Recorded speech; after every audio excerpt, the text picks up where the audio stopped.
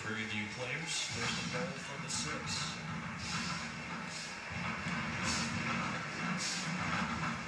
Wilson hands it off, still churning, and into the end zone for a touchdown. It's Anthony Jordan.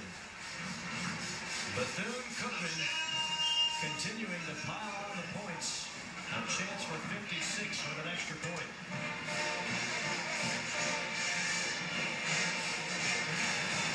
This power football here.